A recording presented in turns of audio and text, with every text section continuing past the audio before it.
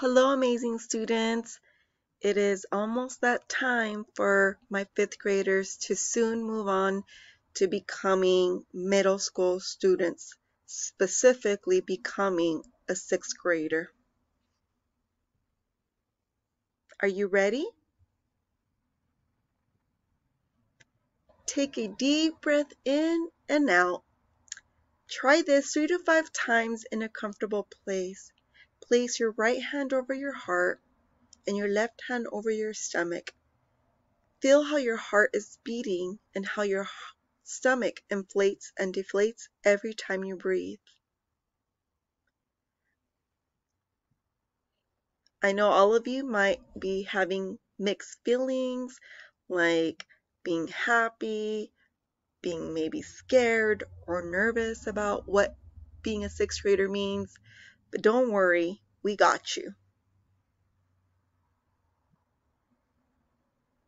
You're not alone. So I'm going to share this presentation with all of you. That way you feel much more prepared to becoming a sixth grader. So some of the goals of this presentation is number one, to reduce your anxiety levels about moving on from elementary school. I know, that's huge. Moving on from elementary school.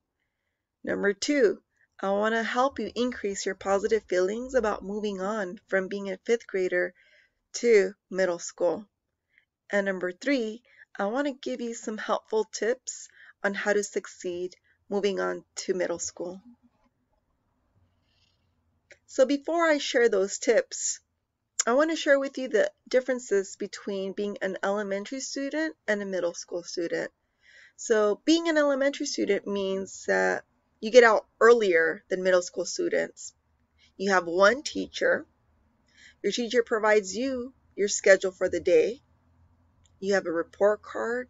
You have recess and lunch. You might have a feeling that you've been there for a long time or, hey, I'm just a little kid type of attitude. And you also have some dependence on your teachers. Moving on to middle school means that you're going to be leaving at a later time. You will have more than one teacher.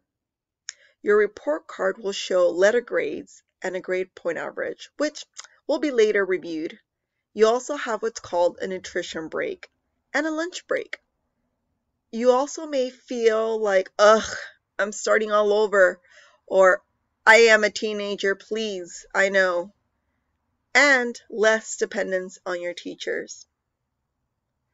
Those are the type of differences that we see between elementary and middle school. Your typical class schedule may also look different. So you can have a first period, a second period, third period, fourth, fifth, sixth, seventh, and eighth, all with different subjects. So second period, you might have math, where seventh period, you might have science. Feel free at any point to pause the presentation so that way you can review what's on the slide. You also may have so many thoughts, I know. You might feel, my friends and I don't have the same teachers and classes. What a bummer. I'm not in the right classes. Middle school is really hard. I just don't understand the grading system. So many teachers are asking me for multiple things. I don't fit in. Some of us may look younger or older in your class. You might also feel like you're not prepared because you missed part of fifth grade and you're not ready for sixth grade. And your hours may change. These are so many thoughts going through your head right now. But don't worry, we got you. You also may remember that there are expectations. Just like in elementary school, there are expectations for middle school students. Some of those expectations still follow the CHAMPS, PBIS, meaning a positive behavioral system, and kindness. Just remember, kindness should be everyday language for all of us. Using kind words, treating people with respect, caring for one another. Remember, we're all together in this. Report card. So now you will have letter grades, or at times may notice percentages. So this is just a breakdown of what a letter A, B, C, D, and F mean. So again, feel free to pause this presentation so you can review these grades.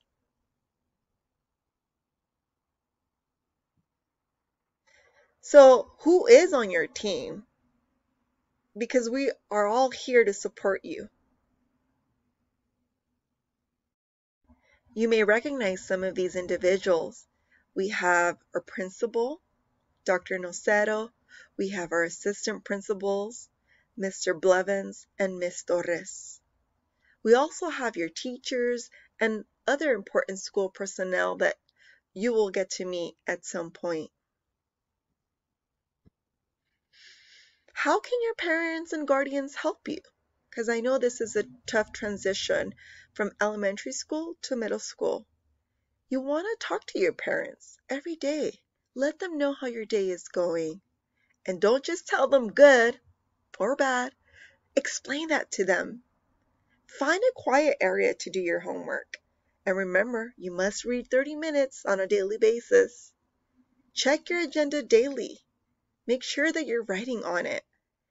Check your Student Connect for your grades and your progress, especially when you're missing an assignment. Also, feel free to contact the school whenever you need help. Your parents can also help you organize your backpack the night before you go to school. And again, my students, we want to encourage you to be independent and be able to be responsible for your own work at school.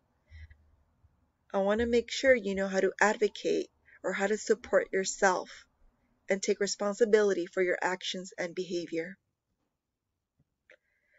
So going back to those helpful tips, let's get organized. Use your Kamala School Agenda or any technology device, folders, notebooks, different color pens, to be able to make sure that you have all your work with you. Do your homework every day. Connect with your teachers. Talk to them.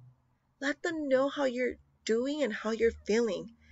Get involved. Be part of the kindness club and leadership activities. Get good grades. Talk to your parents and guardians. Find any adult that you feel is going to listen to you. And find those good friends. And stay healthy. If you have any questions about this presentation, feel free to connect with us. You are not alone. We are here to help you along your journey as a sixth grade student. And remember, it is a great day to be a tiger. We believe in you. Siempre es un buen día para ser un tigre. Creemos en ti.